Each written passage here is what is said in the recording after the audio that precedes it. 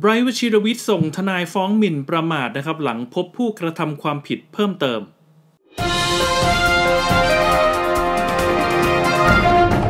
สนับสนุนโดย ซิงเกิลใหม่จากวงเคนายโลกคู่ขนาน หมูยอเกรด A จากแซบซาร่า Happy Healthy ไส้แน่นทุกชิ้น ฟินทุกคำ เมื่อเวลา 13 นาฬิกาวันพุธที่ 23 กันยายน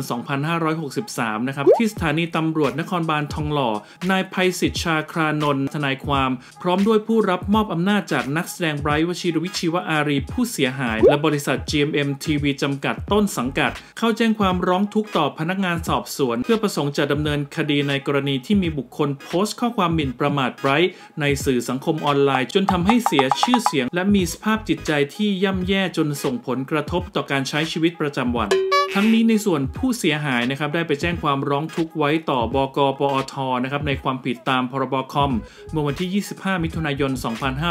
2563 และหลังจากนั้นนะครับยังมีการกระทำผิดเพิ่มเติมสำหรับผู้กระทำความผิดรายใหม่นะครับโดยประสงค์จะดำเนินคดีในกรณีที่มีบุคคลโพสต์ข้อความหมิ่นประมาทต่อพนักงานสอบสวนสอนอทองหล่อ หลังจากพบพยานหลักฐานใหม่ และผู้กระทำความผิดรายใหม่นะครับกรณีผู้เสียหายถูกผู้ใช้สื่อสังคมออนไลน์โพสต์ข้อความหมิ่นประมาทใส่ความความต่อบุคคลที่ 3 หรือประชาชนจนทำให้เสื่อมเสียชื่อเสียงเป็นอย่างมาก โดยทางเจ้าหน้าที่ตำรวจได้รับเรื่อง และจะดำเนินการรวบรวมพยานหลักฐานเพื่อดำเนินคดีกับผู้กระทำความผิด โดยจะตรวจสอบและสืบสวน เพื่อหาผู้กระทำความผิดเพิ่มเติมต่อไป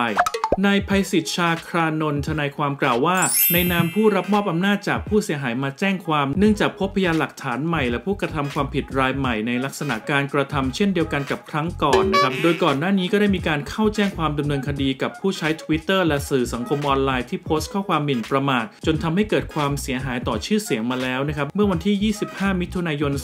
2563 ซึ่งหากยังมีผู้โพสต์ข้อความเข้าข่าย ข้อความดังกล่าวอีกนะครับก็จำเป็นจะต้องดำเนินคดีให้ถึงที่สุดเช่นกัน โดยครั้งนี้มีผู้ใช้สื่อสังคมออนไลน์ โพสต์ข้อความเข้าข่ายเป็นความผิดตามกฎหมายนะครับ ทางต้นสังกัดต้องการปกป้องสิทธิ์ของศิลปิน ซึ่งผมได้รับมอบอำนาจจากผู้เสียหาย ให้ดำเนินคดีให้ถึงที่สุด และขอให้ผู้ที่กำลังจะกระทำการโพสต์ข้อความที่เข้าข่ายความผิด หยุดการโพสต์ตั้งแต่บัดนี้เป็นต้นไปนะครับ เพราะทางผู้เสียหายจะดำเนินคดีเอาผิดทางกฎหมายอย่างถึงที่สุด ขอขอบคุณข้อมูลดีๆจากสนุก .com และขอขอบคุณทุกท่านที่ติดตามและเจอกันใหม่ในคลิปหน้า สวัสดีครับ ติดตามห้องข่าวพีนิวได้ทาง Facebook Twitter และ IG หรือสแกน QR Code ที่ขึ้นอยู่หน้าจอได้เลยนะครับสำหรับคุณผู้ชมที่รับชมห้องข่าวพีนิวทางมือถืออย่าลืมกด Subscribe ตรงนี้ด้วยนะคะ